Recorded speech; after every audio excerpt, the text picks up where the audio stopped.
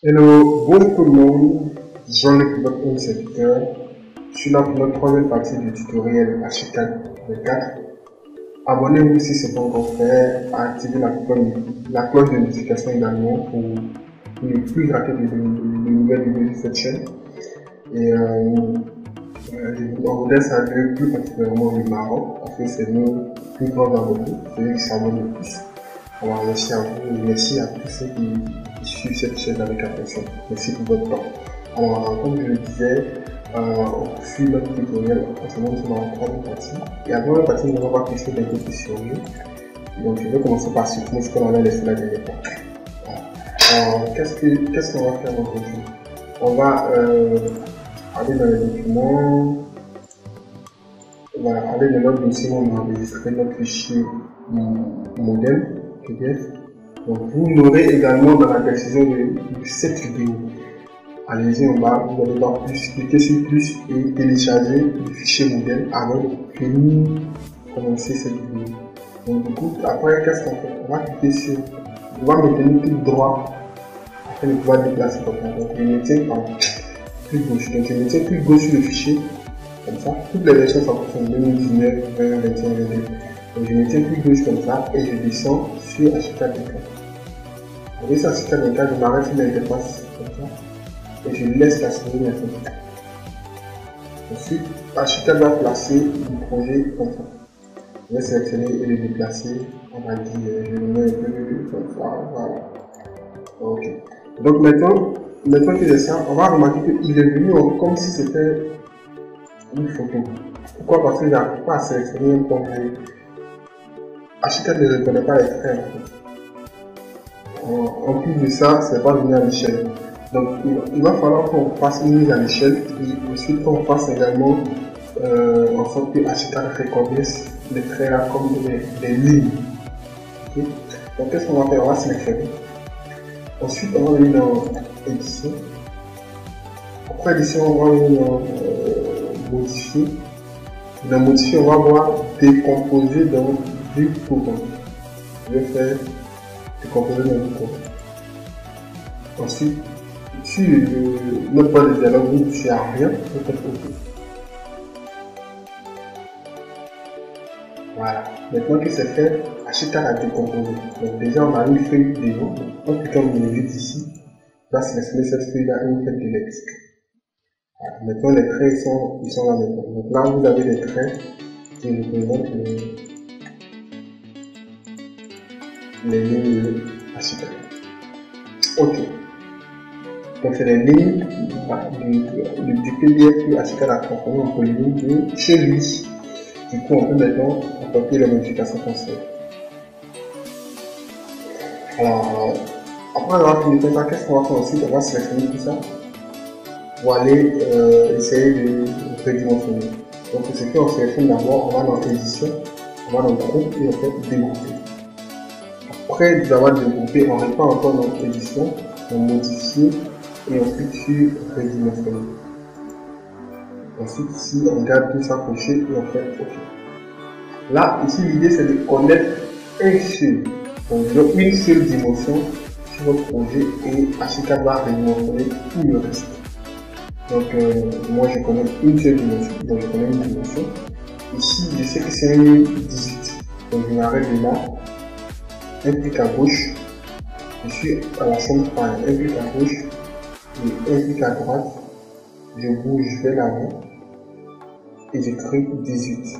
Je suis en centimètre de tunnel, je met en fait 0,18. Ensuite, je fais entrer. Et là, voici, tout est dimensionné en une seule fois. Donc vous allez voir que si je prends l'outil mesure,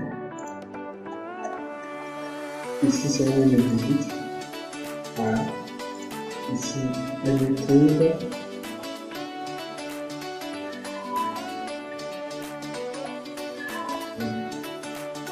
je sais pas d'ailleurs pourquoi c'est un meeting on va passer en 18 parce que cette partie est 18 je ne vois pas l'intérêt de faire le 18 voilà ici. On a 4 mètres 43 raisonnable. Etc etc donc maintenant qu'on a accompli la mission de décomposer et tout, On va maintenant essayer de jouer avec l'outil calque. Ici, l'avantage c'est que dans le projet que je ici, les, éléments sont déjà, les surfaces sont déjà calculées. Donc, ce qu'on va faire ici, c'est de partir maintenant dans euh, calque. On va créer le calque. Donc, on va aller dans Options, Attribut élément, calque. Ou encore, on fait CTRL K. Donc, voyons voir les calques. Ici, le, ce qui est intéressant dans Archicad, c'est que les calques sont déjà créés. Tous les calques sont déjà pensés, puisque tous les outils sont déjà répertoriés en termes de calques ici. Donc, vous n'avez qu'à créer des calques existants. Et par exemple, ce qui ne peut pas exister, c'est par exemple, euh, euh, ce qui n'existe pas, c'est les textes. Par exemple, ici, il y a déjà le calque texte, mais on va créer notre propre test spécial. On va créer un calque qui va héberger tout le dessin. Donc, nouveau calque. Je vais mettre un texte importé, voilà, c'est bon. Donc, texte.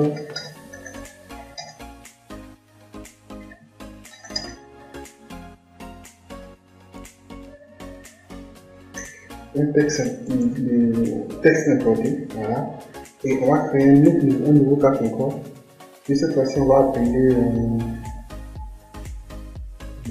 modèle, on peut appeler modèle ou bien trace. Donc modèle importé. On va prendre modèle importé, ce sera parfait. Ensuite, qu'est-ce qu'on fait? On va faire euh, OK. OK. Pour la n'est pas OK, on va sélectionner maintenant le, petit texte, tous les textes. Donc pour éviter que ça nous prenne énormément de temps, on va aller dans documentation, on va cliquer sur texte et faire CTRL A. Donc, quand vous mettez sur un objet vous faites CTRL A, Archicad sélectionne tous les objets sur votre workspace qui correspondent à l'objet que vous avez sélectionné à gauche ici. Et je vais ici faire CTRL A, ça sélectionne tous les textes. Ensuite, je viens ici dans dessiner, placer. Je vais chercher texte importé. Donc, T, T, T, donc je viens ici, texte texte importé. Donc je clique dessus et ça y est, tout le sein de texte importé désormais. Je vais faire CTRL K. Je vais chercher texte importé, texte importé par là et je vais fermer les yeux. Cliquons sur les yeux ici et je vais faire. Vous voyez, texte importé a disparu. Ensuite, je vais sélectionner le reste des éléments, faire euh, cliquer ici pardon, et chercher maintenant quoi euh, modèle importé. Donc modèle modèle ici. Et voilà, ici on a modèle importé.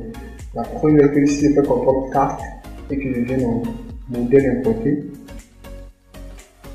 Et que je ferme ici et que je fais OK, il disparaît également.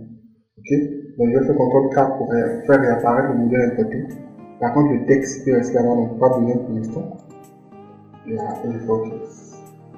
Qu'est-ce que je fais? Je fais laisse apparemment